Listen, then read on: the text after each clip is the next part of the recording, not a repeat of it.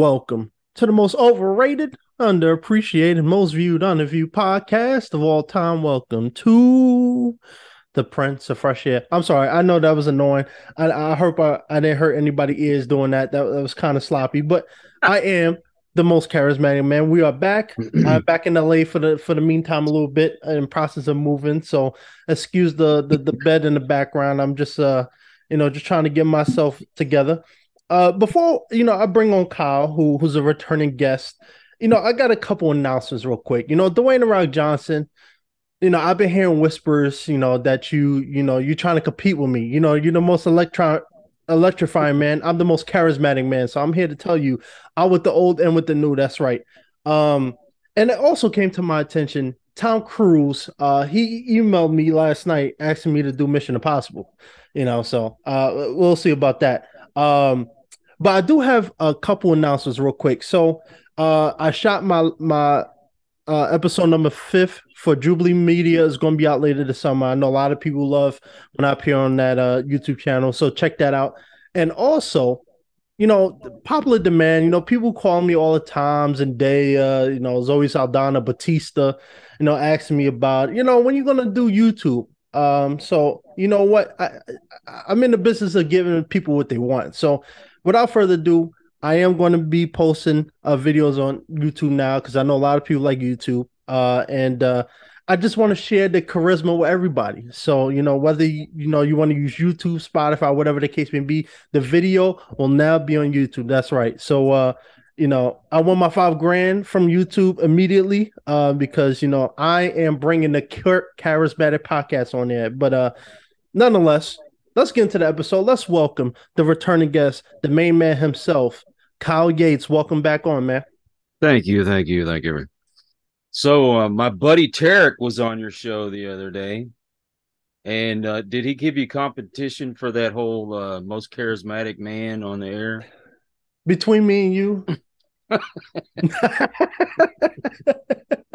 no, it, it, you know what? We're in different lanes. That's all. It he he's very energetic. Like I said, he's like Chris Tucker. He's like Chris Tucker. He's very, very uh much. energetic. He sounds like him too. He he don't believe me, but I'm telling him. I'm I'm I'm sure when the episode comes out, people will be like, "Is that Chris Tucker on there?" But I do like him. He he was great. I, I was supposed to have his brother come on with us. He was going to have a threesome. Whoa, whoa, whoa, whoa! Let me let me not say that. but no, his brother's supposed to come on. He couldn't make it. Uh, so it was just us two, and it was a really good uh, episode. I might do another one with them two back on because I know he wants his brother to share his his journey as well, especially in comedy. So I'm, I'll probably get them on within the next couple weeks for sure. So, but he was good though. It was a really fun episode for sure. Well, and uh, yeah, yeah, yeah. Jamil, Jamil's gonna come on too. Yeah, apparently when right before we started, he texted Tarek and was like, "I'm stuck in traffic. It's gonna be a minute." So we we just did it without him. But yeah, I, am definitely gonna have him come on. Uh, because like I said, it, it, I'm trying to take the podcast in a different direction. You know, talking, you know, for the longest I talked about, like I said, you know, police brutality, murders, and all this other, you know, the you know the the the negative stuff in society. But you know, as the most charismatic man, it's my duty to entertain people. So if you're driving on the highway, you're watching the kids, you're eating a cheeseburger In-N-Out, you're picking up a, a pizza from Domino's we are here to have fun. And that's why I brought you on because we're gonna have some fun. We're gonna talk about a lot of stuff. Um, but before we even get to the episode, how you been, man? How, how's life treating you? Oh well, it kicks me in the teeth a few times, but I, I keep going. I'm not gonna let it keep me down. I, I don't blame you. You know, don't let the hair fool you. I'm a hot mess t- sometimes too. You know, my room right now, if I could pan the camera, y'all be disgusted with me. But it's because I'm moving right now. My landlord's selling my, my my apartment, so I'm just in the middle of getting everything together. And then I'm going back to New York on Friday. So, uh, you know, I'm looking forward to being back over there. Uh, but I do love the weather out here. I gotta say, the weather out here is unmatched. Uh, have you been to LA before? Um, I the only time I've ever been to California, I was like four or five years old, so I don't re- even remember it. I, I do remember slightly when we went to San Diego because we went to the zoo and we did get to go to Disneyland. It's kind of a blur, you know. You're talking almost 50 years ago. So. Wow, I haven't been. You know what? That's one of my regrets living out here for like the last three, four years. I didn't really travel much, and it's mostly just because I lived downtown. I didn't have a car, so most of the most of my besides auditioning, which I usually Uber for, I used to just my gym where I used to go to work out and work at was like a, seven minute walk. So one of my regrets is not traveling enough because I, I, hear a lot of good stuff about uh, Disney. I haven't been to Disney yet, although I do know you need to t- take out a mortgage to go to Disney because it's not cheap anymore. Holy right. crap! Uh, my, you know what? My my girlfriend's sister and her husband they go to Disney like twice a year. I mean, wow. when I found out how much they spend, I'm like, absolutely not. I no, never, absolutely not. Well, but, next year, just ask them to buy me a new car. It'd be cheaper. I need my. You know what? I'm in my 20s. I still haven't had my first car yet, but it's because I'm, you know, I grew up in New York public transportation, so that's on my bucket list is to get my first car. Uh, hopefully, I can do that before I'm 30. That would be perfect. But if not, it's all right. I figured because you got limoed around everywhere. Well, you know what? My security, you know, they, you know, they got lives, you know, they got kids too, so it's hard. But I did tell um Tom Holland that uh when I get my fly, my private jet next week, I, will let him ride. He'll he'll pay me for it though, you know, because inflation, uh, gas ain't cheap. no kidding. pay up, pal. Pay up. Give me that Spider Man money. right. Uh, so you know, let's get into that episode. You know, you brought something to my attention.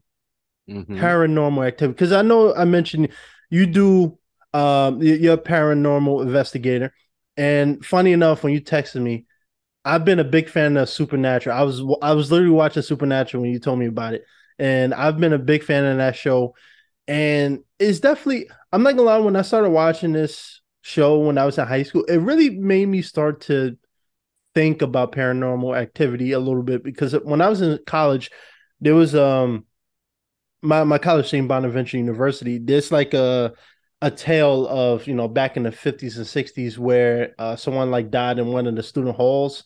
It was called Dev uh Dev uh and I remember it's trippy but I remember one time right before I graduated, I was walking. It had to have been like 12 in, in the morning. I was coming back from the uh, the Skeller, which is like a like a nice little social area. And I remember looking up because the urban legend was on the fifth floor of the of the building. And I swore I saw a ghost up there. Now I know some people might say he's lying, he, he's capping a little bit, but I swore I saw a ghost up there. But you know, before we get too much into it, I, I, I want you to you know elaborate on that. So how did you get into that, and and how's that journey been for you? Wow.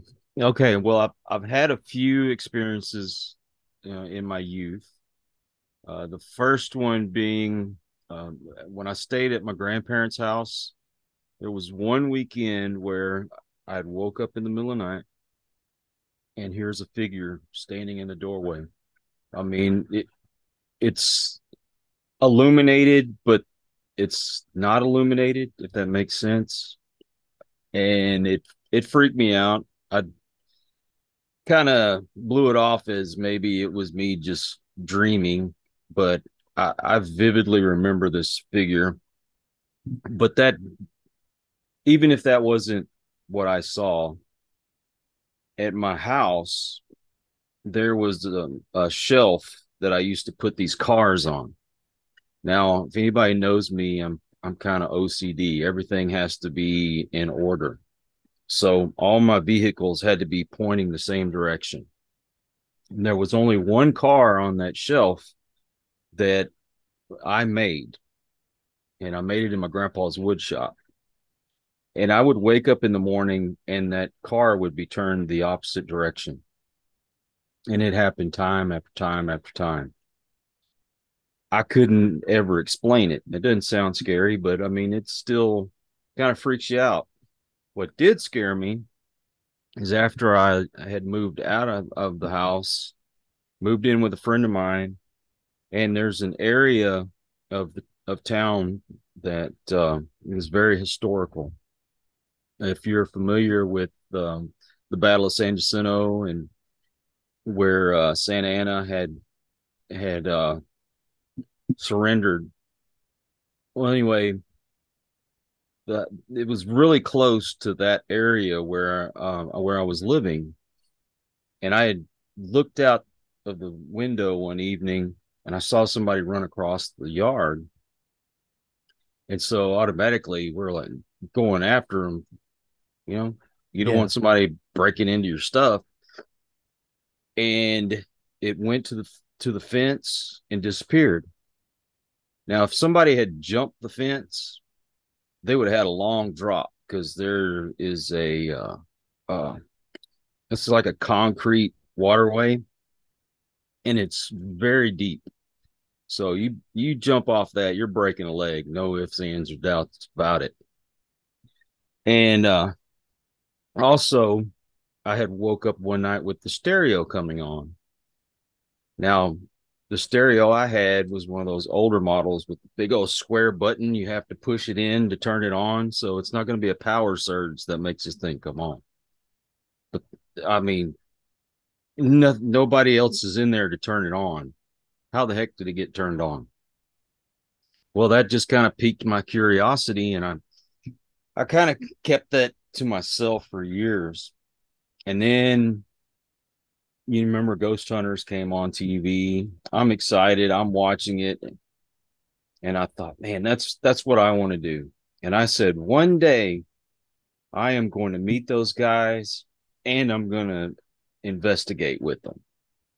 Well, fast forward some years later, I you know got divorced and I was single for several years, and then I, I met my wife, who I have now, Michelle.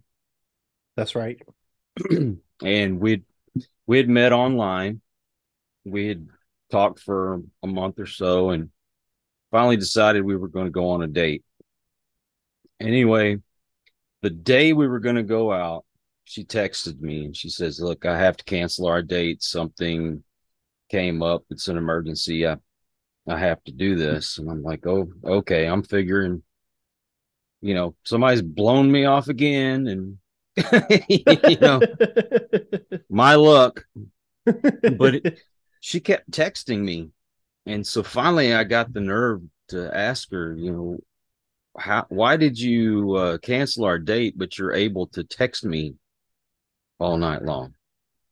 It took about 10, 15 minutes, and she finally answered me. She says, Well, I'm going to have to tell you something. Um, I, I hope it doesn't break the deal, but uh, I'm a paranormal investigator.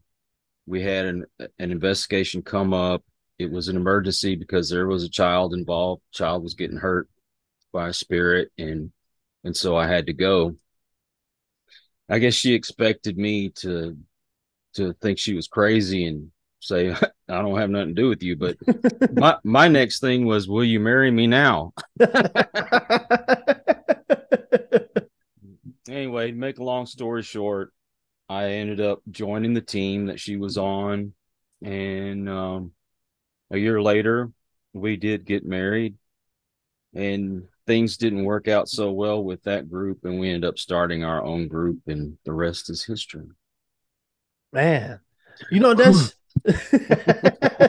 now you're married doing what you love, you know, and you know paranormal activity like it's a taboo thing, and I think you know one of my first, you know, first of all, I've always been fascinated with paranormal uh, movies. You know, Patrick Swayze Ghost. That was, a, you know, that's a classic. Everybody knows that one. Uh, but then you also have, you know, Poltergeist. Uh, you have mm-hmm. Paranormal Activity, the movies. Uh, and it's a huge thing. And I remember my earliest memory of this. I remember my mom used to tell me this when I was younger, about like 10, 11 years old, where I first grew up with her in, Manhattan she used to tell me about how she felt the presence of her mother who passed away uh, in the house. And even my sister, they she used to tell me that like uh, they'd be sleeping in the living room and all of a sudden, you know, the toilet would flush. Um, and things would just happen that had no explanation. It's like, you know, I'm in the house by myself. Why is the lights flickering? Why is the toilet flushing? Why are things moving? Um, and you know what? It was it was funny. One time I remember college, I came home uh, for break and I remember my dogs, I had two dogs, Neil and Lady, shout out to them, love them.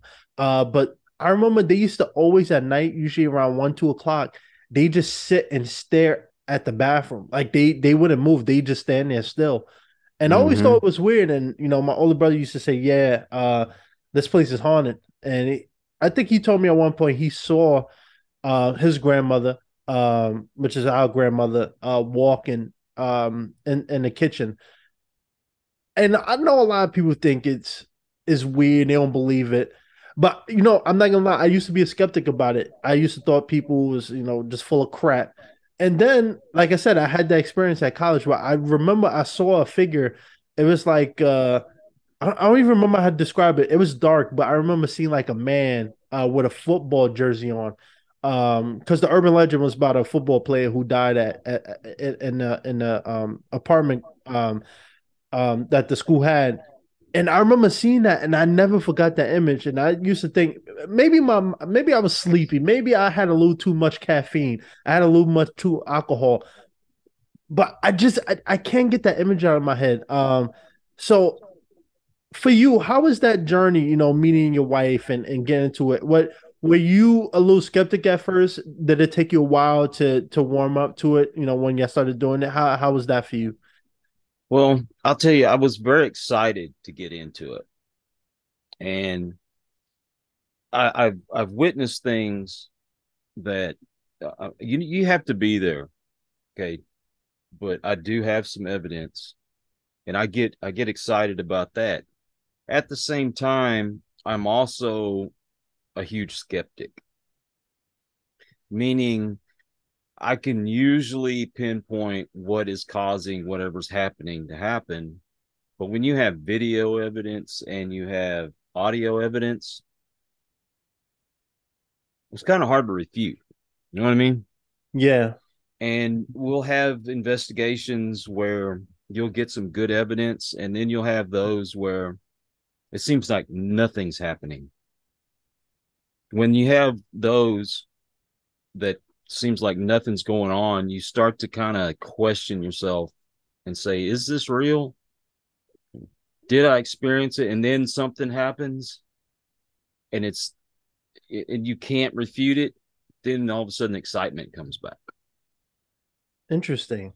You mm-hmm. know, I will say, you know, watching the Supernatural, I know it's cheesy. I know it's cheesy, but Supernatural has made me, uh, anybody who hasn't watched it, you know, Jensen Ackles, Jared Padalecki, great show, uh, 15 seasons. And they deal, especially the earlier seasons, they used to deal with that type of stuff, Ghost, uh, you know, and they used to talk about how, like, a lot of times they were holding on to something specific or you know they you know they just never went to the afterlife and you know everybody's gonna have different opinions on that but you know what i, I do think you know when i started reading so you know part of you know acting for me is i like to read about productions uh, uh so you know when they shooting these type of movies all types of movies but especially paranormal ones you know i read a lot of them and i think was it a, Amityville Horror based off a true story if i'm not mistaken It is based off a true story, but it's not exactly what you see in the movies. Oh yeah, I'm sure they, you know, they amped it up, you know, but Yeah, of course. I think I think it is true. You know, I've heard so many stories of people saying like, you know, they've seen things, they've heard a relative in a house, you know, they've seen a figure walking. And it, it, it's kind of taboo because a lot of people think it's, you know, it, it's, it's baloney, you know, just not the Ghostbusters, right? You know, but right. I do think some of it is true, and I think a lot of it was, you know, like I said, watching Supernatural and and seeing how they did it. Now, granted, it's a TV show, you know, it's going to be a little more campy and, and hammed up, but I do think there is a thing now. You know, we hear about haunted houses, you know, people moving into houses that people died in, and you know, unexplained things are happening. Um, and a lot of these movies, some of them not, but a lot of them are based off some type of significant a significant um thing that happened that that that was true. Um so just tell me a little bit because I'm actually not too familiar with, you know, uh that type of line of work. So what would you know what would a typical day for you be like, you know, when you're out in the field and doing that type of thing? Well, when we first get there, we of course will go around the house and we'll we'll check things um, like um, exposed wiring because that'll put off that electro electromagnetic field, and some people are very sensitive to it. Right. Um, there's there's all kinds of things just kind of look for that may be out of place. Another thing we'll do is I will have an EMF detector and I go along and I, I try to see if there's any hot spots in the house. Sometimes that will affect your equipment. Um, one thing we found out that those night vision cameras, if you walk in front of them, it'll set your EMF detector off. Um, sometimes if you've got too much equipment electronic equipment in one area, it'll set it off. Uh, I've gone up in in some houses in their attics. Like there was uh, a place in, was, I think it was in Baytown, Texas. They it was that old wiring that had the the the cloth uh, covering on it, mm-hmm. and you know this you're talking that was probably 1930s, you know, and they'd actually cut some of that out of the way and somebody had wrapped wire around it to uh, a, a, light and was using that to light up the, the attic. Well i mean you got crazy mf coming off of that. So if you get a pretty good baseline of the house you know where the hot spots are you kind of know where to avoid uh, then we kind of we'll ask people, you know, where's the most activity going on, that kind of thing. And so we'll set cameras in that area to try to to you know catch whatever's going on. Um, just I mean, little things like that. Um, get a, a, a history of the house. We we have a guy who actually knows how to research homes. You can you know um, who's owned it if there's anything significant that's happened there, whether it be a, a, you know somebody died or a murder, something along that line. And we also use uh, a, a psychic medium. I have one specifically with our team, but I have brought some from the outside to to get a feel for the place, and they are very very helpful. Now I used to be very skeptical about mediums. I I didn't believe in that stuff. I thought a bunch of malarkey, you know, some kind of parlor trick. Until I met the one that works with us. When you hear people say they they tell you stuff that there's no way they could have known, this lady, first time I ever met her, she was telling us specific things. There's no way she could have known, and it's she's made me a believer. She'll go in and I'll give you a quick example. There was a house that uh, she said that she was getting uh, a, a person coming through that she was an aunt type figure that she uh, she had been kind of excommunicated from the family and she had had a child out of wedlock and the child was killed and just given all this detail, well, the the lady that lived there, she goes, nope, nothing like that. There's no one in our family like that. Well, a few days after the investigation, she called me and she said, um, I talked to my mother and I didn't know that she had a sister who used to party and run around and sleep with men and the family didn't want to have anything to do with her anymore and she had had a child out of wedlock and the the child had been neglected to the point it it passed away. And i was like oh my god how do you get that specific of details when even the owner of the house didn't even know that? You know? So you you've got all these different factors that that come in and i i'll try to um i don't want to say provoke but uh what's the word i'm looking for um, i'll I'll try to do something to to have the spirit react. Okay.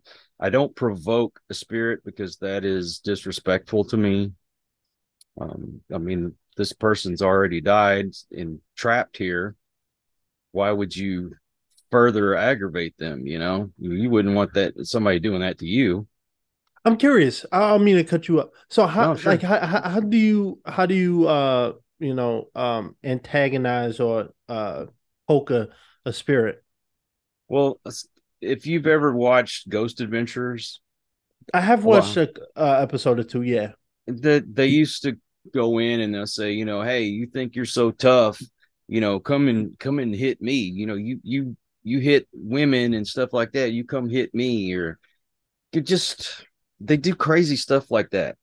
Um, you know, act like they're real tough and they're not scared and oh, you know, you you you have no power here. You can't do anything to me and just trying to aggravate them and I I just feel that's disrespectful.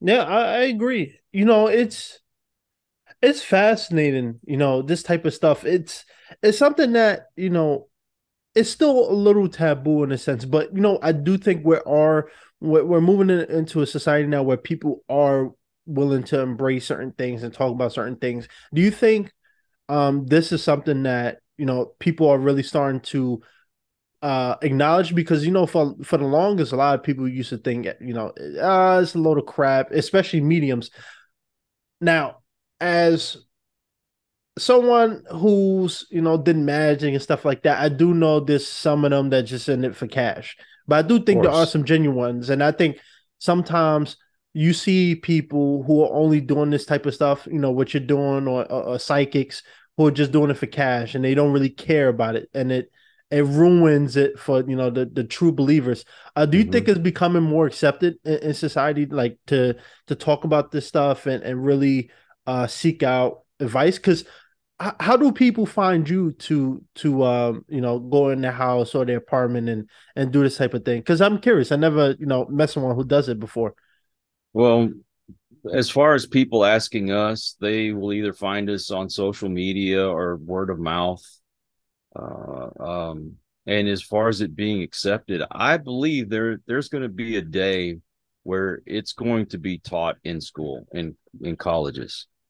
And the reason why I say that is uh, I had I used to interview just about all of them that you've seen on television, know, ghost hunters, dead files, uh, those kind of folks, and I got to be friends with Mustafa Gatollari, who he came in the the the second iteration of the Ghost Hunters, and him and Brandon Alvis, uh, they they they've got a show that's going to be coming out soon.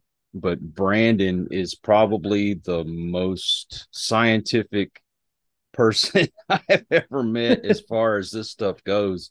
And what they do is they've got this equipment. It's uh based on photon technology where you get a more finer picture of what's out there using photons and this is something that you can't refute there's nothing that's going to make this machine do something different or you know you can you can make an emf detector go off easily by uh, flipping the switch on a on a walkie-talkie or your cell phone going off.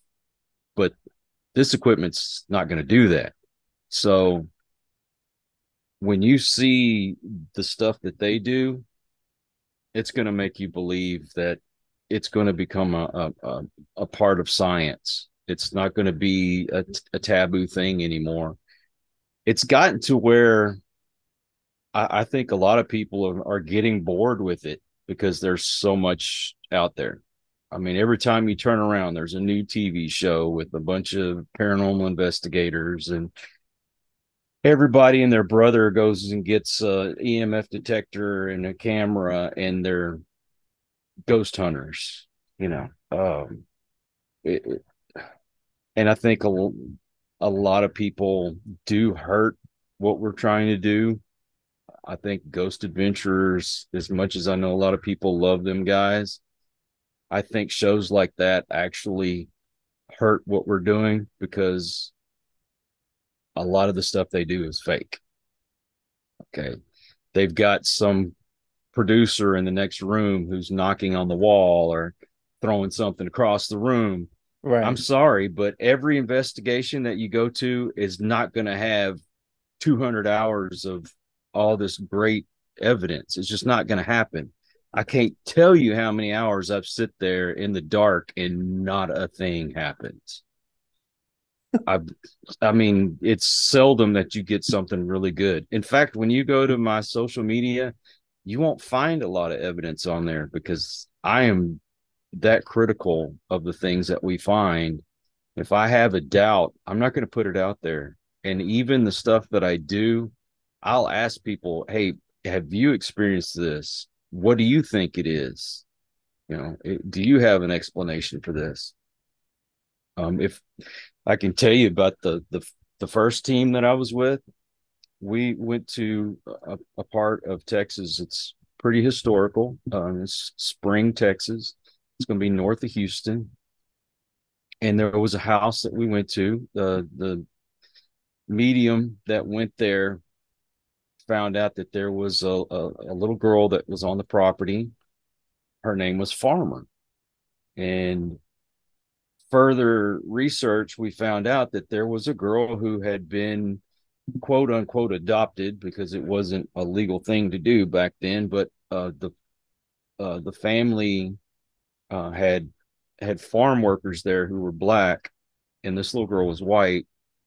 Her parents had passed away, and this black family had adopted her and take, you know, taken her into their home. And farmer liked to do all kinds of stuff around the house. And then when um, me and my my buddy Rodney were on the second floor, all the ladies were downstairs watching the video of us doing our little investigation. We sat down in this room, and I I tell you what I I've had you know problems with my feet before, but I felt like my foot was on fire. I didn't think of anything of it. I just thought it was me. And you can refute this. That's fine. I'm I'm not saying this is concrete evidence, but when I told the ladies that, they all started giggling. And I'm like, "What's so funny?" And they said, "Oh, we saw you there sitting in the dark barefooted, and we told Farmer to go tickle your feet." and at that time, that's when it happened. You know. Well, I ended up uh, in this one room by myself, and I didn't notice anything while, while I was up there, but the, the ladies saw something fly around me and disappear. I swore up and down it was a bug, but when we watched the video, there was another lady who was videoing that video with her cell phone. And at the point where this thing flew behind me, her phone picked up a voice that said, That was me. and I've got a copy of that on my my channel, by the way, if anybody wants to check it out. Yeah. Uh, shameless plug there. Uh, I saw that. and there was when I was on my own, or me and Michelle were on our own, we were at a house and I'd set up in this one room and what looked like a bug to me flew into my chest and out of my back. And you can see that on the video. There was no audio to that. I wished I had audio at that time, but the the medium told me that a fairy seems to follow me everywhere I go. Whenever I do these investigations, like a guardian angel type character for me. Now, to me, that's like, oh, whatever you know, I don't believe in all that stuff, but it showed up several times. Um, I, I, I wished I had more of those videos of these things flying around me, but it's it's crazy. Now, if somebody can tell me what else it could be, you know, I'm I'm up for it. I'm not going to debate you on it. I'm I'm just saying, hey, this is unusual activity. I can't explain it. If you can, please tell me. So, whew, did I get all that out? you did get it all out, and uh, you know, I, th- this is a conversation, you know, that I was interested and intrigued by because, like I said, it is still taboo. Um, but you know what? But before we we continue, because we got a lot more stuff coming at your way. Um, We're to take a, just a little short break, bringing our sponsors, and we'll be right back with my man Kyle Yates.